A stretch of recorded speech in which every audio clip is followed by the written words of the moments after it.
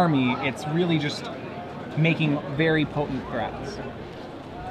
So on the match we have here. Like I said, we have Jarvis, Oh, who- look at that. Black Red Zombies on the on the right. He's playing against Lawrence Creech, who's playing Blue White Flash. Looks like uh, the blue white flash splashing red, so it's actually blue white red. Right, You now- can see a Clifftop Retreat there. Yep. So the the red splash, blue white flash is currently the deck I'm playing in standard right Okay. now. Um, the red splash, it gives the deck a little more game against this matchup in particular. Uh, the red, for, for the record, is for Pillar of Flame. Lawrence is only playing three, but um, yeah, well, what it does is it gives him the deck has some difficulty dealing with cards like Gravecrawler or recurring threats sometimes. Without red, the way it deals with it is it has to land an Augur Bolas or stick a Runechanter's Pike, which sometimes is a little too slow. So the pillar really gives it a lot more game.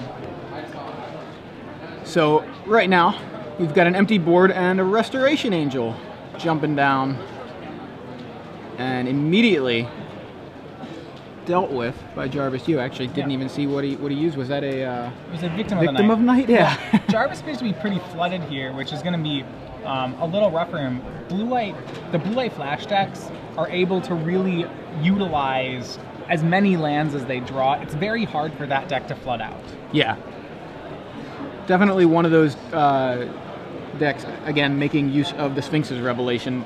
You know, each land very, very, uh, very, very worthwhile to draw. Just represents another card off of Sphinx's revelation Between later on. Augur of Bolas, Think Twice, Azorius Charm, Snapcaster Mage, Moorland Haunt, and Sphinx's Revelation, it has so many ways to use its extra lands that really the longer this game goes on, Lawrence will just continue to compound the advantage he has here.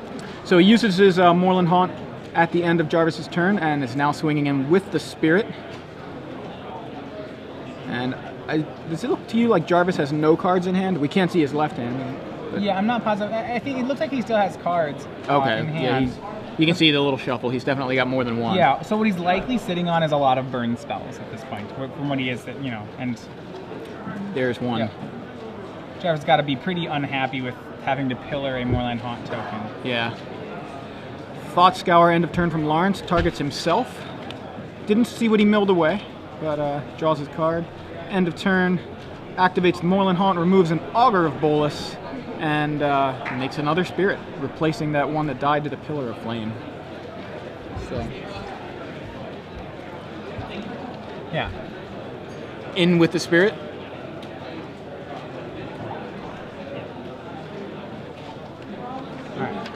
Yeah, so Jarvis, it looks like uh, before we came to you, Jarvis was uh, had a Geralf's messenger that was that appears to have been syncopated, why it's sitting out in exile. Yeah. Lawrence adds a Augur Bolas to the board and finds an Azorius charm.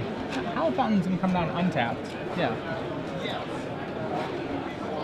pretty safe right now because looking at the other side of the board, uh, not a lot of damage sources, not a lot of damage coming from Jarvis. So, Diregraf Ghoul comes into play for Jarvis, kind of, uh, kind of late. Oh, then And there's then something. Falkenrath Aristocrat. Right, the biggest issue is that Lawrence Creech has a looks appears to have a six card hand going on here. Um, so what he has to yeah, it's gonna get syncopated into exile. Um, what you, Jarvis will have to watch out for is that even he, he has to assume that Lawrence is sitting on you know uh, Azorius charms, like the kind of cards that would be in Lawrence's hand. would be Azorius charms and counter spells. The Cavern is set to zombies, so they can't make the aristocrat uncounterable. But even so, aristocrat's pretty weak on this board because of Moorland Haunt. Every time, Yeah. it, you know, he can make the aristocrat indestructible, sure, but it'll still trade with a creature. The Haunt tokens will trade with a creature, and Lawrence's life total is high enough that the four damage and haste isn't particularly relevant right now. There's a Geralf's Messenger, uncounterable from Jarvis. And I think that's probably the best card Jarvis can can draw right now. I think uh, the fact that he can make it uncounterable, he can sneak it by counter spells, and Lawrence doesn't have a ready answer for it is pretty good for the card. So, and and then comes- Sphinx's Revelation. and that, that looks like it's for six. This is really that, you know, Lawrence. th- this, this just show, shows off the power of the card because it's likely that Lawrence has drawn, say, a Snapcaster Mage off this too. Yeah. So it's not like this is the only revelation that the Sphinx is going to have. Right. Lawrence with upwards of a dozen cards in his hand. in with the spirit.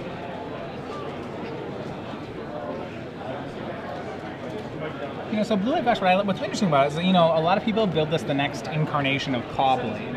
Um, if you play it, it's interesting because it plays a little differently than Caw-Blade right now because Caw-Blade typically had this would transition or like sorry maybe not Caw-Blade, a Delver or something. It would Okay. transition into this aggro deck at some point. You know, it, uh, Delver would have this moment where it says, "I can't really control the board anymore, but that's okay because you're taking six a turn." Right. Um, this deck never really lets go of control. You know, when you play it, you you usually win when you sit at your hand and you just realize, you know, he's never gonna break through this. I'll just beat him up with one ones and one threes, and Yeah. you know, as you can tell right here, the game isn't over, but it, it really is close to over. There's, it's very unlikely Jarvis has any live draws to this point. Yeah, he did not want to see a Sphinx's Revelation for six No. on the other side of the board, and that was kind of what is likely to be the the turning point, if there if it hadn't already uh, happened with just this flood of lands from Jarvis. Yeah, and so Jar- Jarvis did keep a seven-card hand. It looks, I, it really seems to me that he uh, flooded, that he's been flooding pretty hard. He likely does have a large amount of burn, but it's still going to be. And the Lawrence knows that, and probably has counterspells for most of these. Yeah, Lawrence had to discard three cards at the end of his turn, so he's uh, he's got seven business spells likely in his hand. Makes another spirit at the end of Jarvis's turn. Uh, Of note, Lawrence is only playing one Runechanter's Pike, which means his ability to close the game quickly if he decides to is pretty limited. Um, typically, you know, like as you can imagine on this board, drawing one pike would be very, very Yeah. close to being lethal. Um, but you know, he, he's going to really have to, as you see, like, you know, just grindingly chip away at the game. That, that's how Lawrence is going to plan to win in most of these. Yeah, and that's that's the plan right now. Uh, Jarvis adds a Knight of Infamy to the board and swings in with Geralf's Messenger. And that's going to go on top of his Yeah, deck. Azorius Charm for the Messenger. which isn't the worst. It'll still deal two damage, um, which I guess may is in the thought scour. He's in the thought scour milling himself or Jar or Jarvis. Yeah, he's gonna he's gonna mill. He's milling Jarvis for two. Yeah. He's milling away the messenger. Yeah, a had so- good heads up play. Puts Hell right under the artist hole. Return to sender. The biggest problem is that even if Jarvis draws messengers, the the potential to snapcaster Sphinx's Revelations or just draw another one means that two damage a turn just isn't actually enough. Yeah, Lawrence at 15 right now, and uh, I mean that is that is just kind of an like an, a huge like it's not where Jarvis wants Lawrence to be at 15 at this point in the game. It's like turn 10 or something. Uh, Augur of Bolas gets in front of Knight of Infamy and is targeted with a Restoration Angel. Uh, three lands, ships to the bottom. It's, Yeah. it's fine. Augur misses. Yeah, he does that about one third of the time. So you know, it's that's one of the hazards of playing the card is that it'll miss. Which what's kind of funny is because zombies is the premier aggro deck right now. The one three, even when he misses, is like a pretty acceptable card. Sure, yeah, it, it's definitely reasonable to play, and you've seen a lot of players making use of Augur of Bolas Yeah, see- in uh, their different decks. Yeah, we see a two two and a two one on Jarvis's side, and it's really okay that it can't kill anything. There's a Falkenrath Aristocrat and a rewind from Lawrence. Free counter spell. And a Thundermaw Hellkite from Jarvis to follow up the Aristocrat. That will take out spirit tokens. Does Lauren ha- uh, Lawrence have uh, Snapcaster rewind? Snapcaster syncopate? Yeah, that- no, You're looks gonna like Azorius Charm to draw a card, or no, think twice to draw a card. Flash it back to draw a card, and that was a Snapcaster mage. So now And Snapcaster. Snapcaster. Jarvis will concede. yeah, that's Right, there's so and there's just so much reach in that deck. So many different answers too. Just Now, because Lawrence is playing the Pillar Flame version, he does not have unsummons in his list. So Okay. a little fewer answers than normal in that situation. But I mean, with uh, 13 lands in play, that's that's exactly where the Flash player wants to be. And uh, apparently, the Pillar of Flame even just one for the early Geralf's Messenger, or, or was it syncopated? Uh, that's right. Sorry. Uh, unclear. We didn't Yeah, actually. we- I suppose it could have been either. Right. Lawrence was at 18, so actually, I, I think you're probably right. It was probably a pillar. Yeah. I mean, just having one early game to stop the the early onslaught in that game, even though we didn't see the first few turns, when we start when, when we joined the game, the board was clear, you know, on Jarvis's side, and that is to me means Lawrence Lawrence dealt with the The board was clear and Lawrence was at 18. That's so. St- yeah. uh, Lawrence obviously dealt with anything, any threats that Jarvis had early, and that's exactly what you want Pillar for. Uh, just just survive until you can really start to dig in with your uh, your control spells, your uh, your Sphinx's revelations later on, and that's, that's kind of kind of exactly what Lawrence wanted to have happen. Uh, hopefully, Jarvis can put up more of a fight with with less lands and more business spells in game two here. So looking at the, the board, then what, what Jarvis is going to try to do, he has given a little bit of, nod, of a nod to this matchup. He has one Underworld connections in his sideboard. So I was talking with uh, one of the Star City buyers who's actually playing the same deck today. Uh, he's playing Zombie Say West Wise about this. Um, and he, you know, he had said he'd taken the Underworld connections out of his sideboard because against decks like Bantramp, um, they don't really care if you're drawing an extra card. They're just going over the top of you. Uh, this is, I think, the matchup where that kind of card, Unreal Connections, really shines. Um, the blue-white flash deck, while it really does compound its advantage, it's always a little choked on mana. You know, when you play it, you have this feeling you'll play your 11th land and, and you'll be thinking, man, I, I wish I had more lands in play.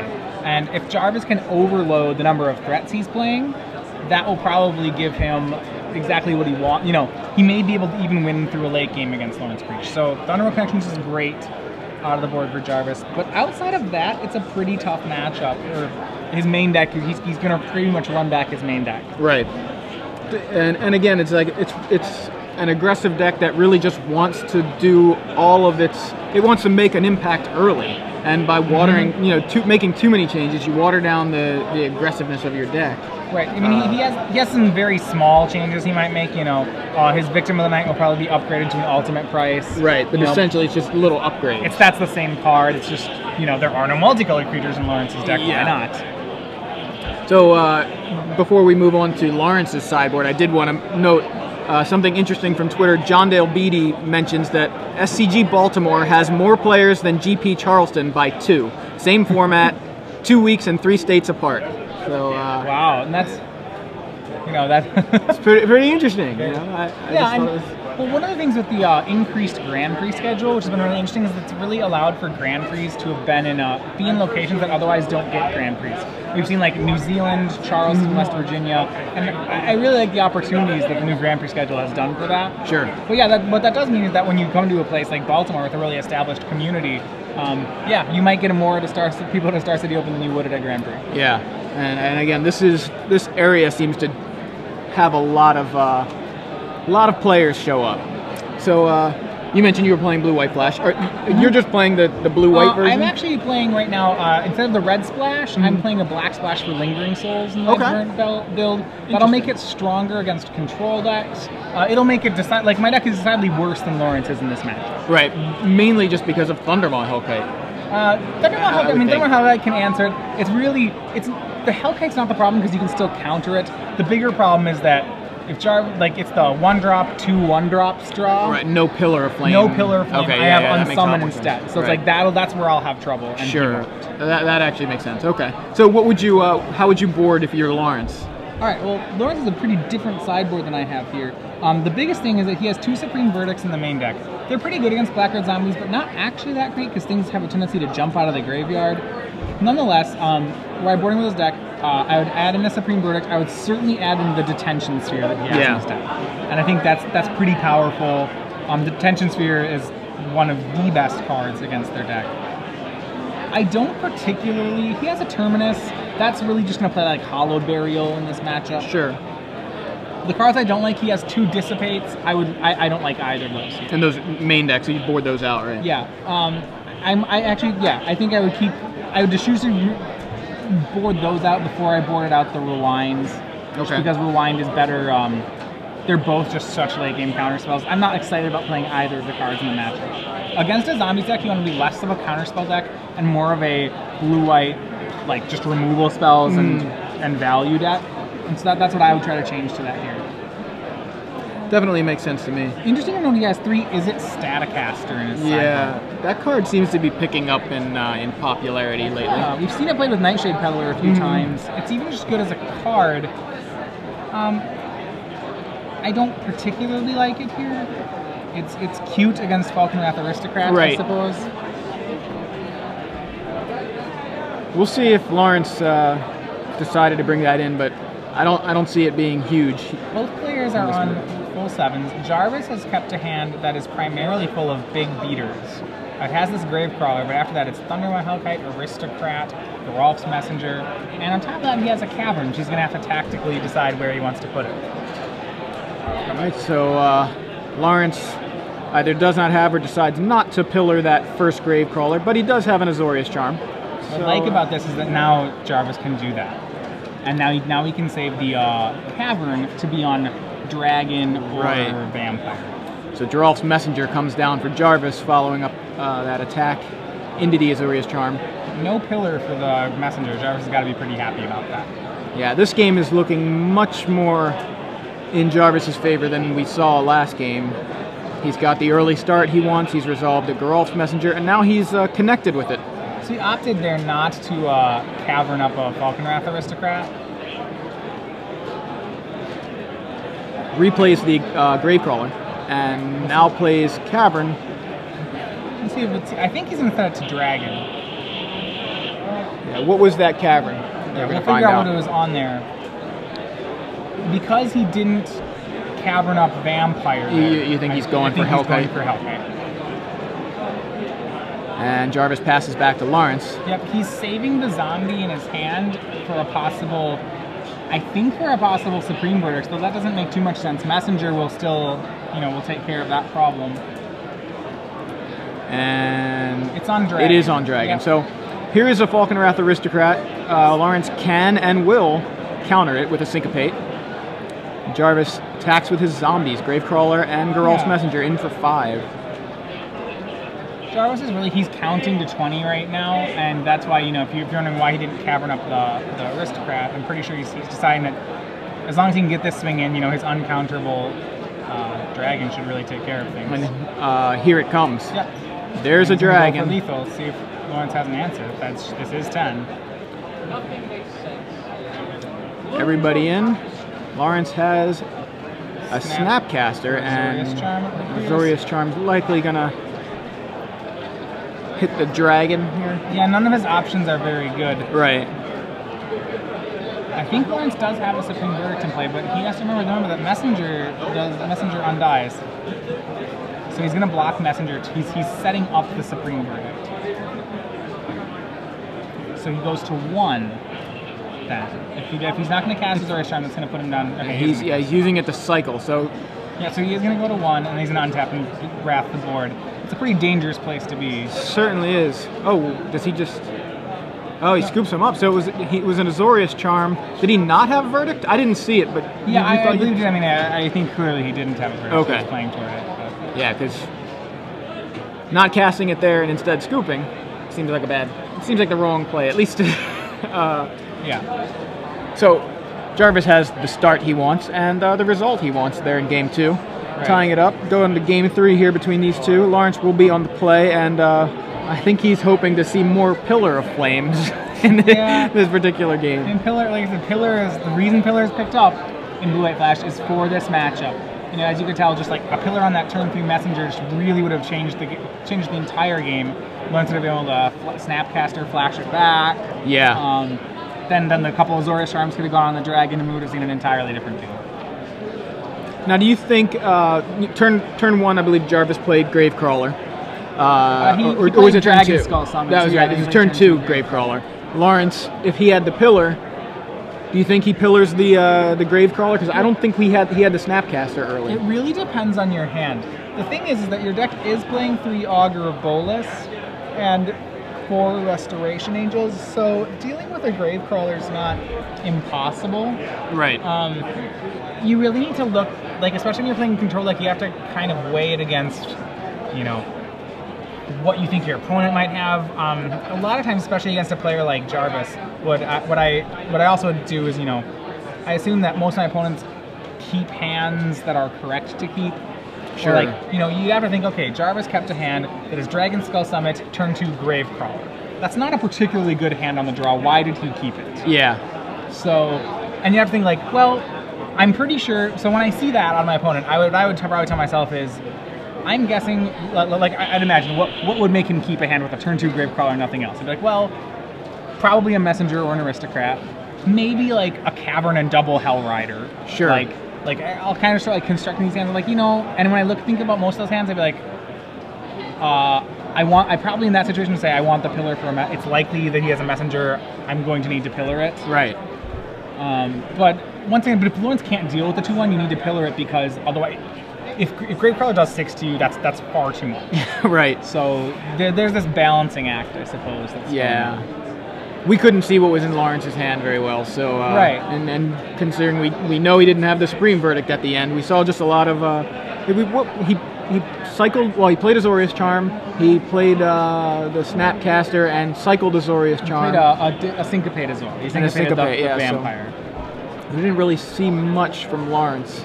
Yeah, and that's one of the dangers with Flash's hand. Flash is that a lot of the hands look very keepable, but you really have to be careful when you know he didn't actually have much interaction in his hand. He had a lot of cards that cycled, which is pretty dangerous. Um, the mulligan decisions in Blue white Flash are, are can be a little difficult just because so many of your cards just say cycling. You're- So you're playing the uh, the Esper version. Yeah, you mentioned. it's- Speaking of Esper, there's Shaheen Soorani in the background. We have no As you can see. confirmation that he's playing Esper. I don't though. think he is playing Esper because he was looking for uh, Thundermaw Hellkites. So uh, Probably some Planeswalker brew with you know. yeah. also, the fact that he's standing back there makes me realize he must not be on control because there's 20 minutes left in the round. That's ridiculous. He'd still be playing.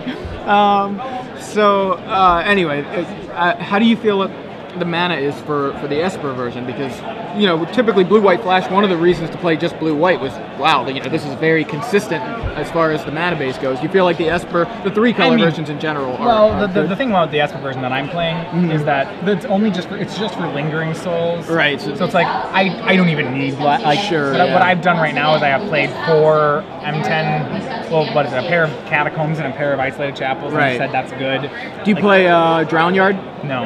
That's interesting because like the version I'm playing, I was actually uh, pretty close to Shaheen's States winning deck that he played uh, win Virginia States a few uh, weeks ago, and um, and one of the main reasons I wanted to play Esper was because of Drown Yard, just just for the, that uh, just to have access to that and. I, I think the reason I'm not playing right now is I'm not sure what matchup I'd want it in. It's not that it's not a powerful enough effect. Mm. Um, against pure control decks, I feel pretty good already. And I don't want to do it in the mirror. I don't want to mill them. That sounds awful. Right, right. Because they, probably would appreciate it if I did it.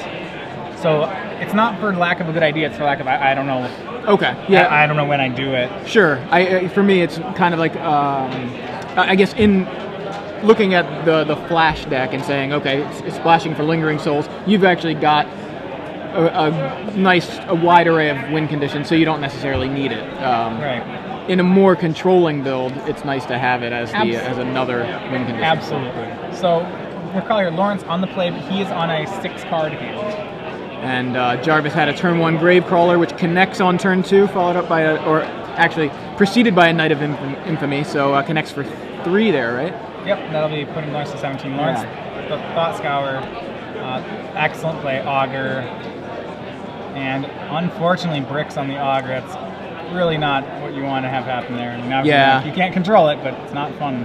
Augur looking uh, pretty weak here because it would be Yeah. normally great against a Gravecrawler, but when the Exalted trigger, uh, It's saving him one damage right now because the Yeah. other that's which isn't isn't much. But yeah, I mean, if the other guy, if it was like a pair of grave cards, that'd be that'd be phenomenal.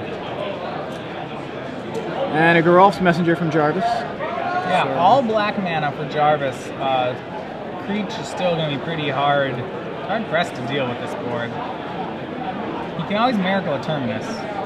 So Lawrence gonna Thought Scour himself again. Trying into Moorland Haunt, it looks like there. There you go. We see, it looks like. Snapcaster Pillar of Flame in the graveyard, not where he wants that can pillar. play- if he has a Snapcaster in hand, that's great. Sure, sure. I don't think he does. No. And no, see Jarvis now, no more lands himself. He has a pair of Thundermaw Hellkites, which uh, are non-cards right now. Yeah, that correct? Yeah. What he? It's not. I mean, He's actually Jarvis kind of can't swing very much. Yeah, he's gonna he's gonna ultimate price the Augur Bolas. Yeah, clear the way for his zombie horde, and now He can swing all three. Lawrence can um, Moorland Haunt here, but that's okay. Not even to me has pearl white, so that and Gravecaller comes back. So yeah, so it's not even. fine. It's a completely safe attack for Jarvis. And yeah, we're gonna see the. Interestingly enough, on this board, I think Lawrence can stabilize. I think you know he's only a card away from stabilizing, but the bigger problem Second grave crawler for Jarvis. is that yeah, Lawrence has dropped to a low enough life total that that might not matter. Uh, one.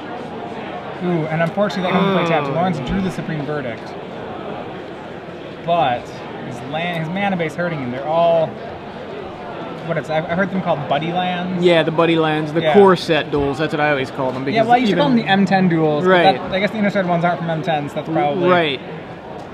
So I think twice from Lawrence and Yeah. a scoop. And And yeah.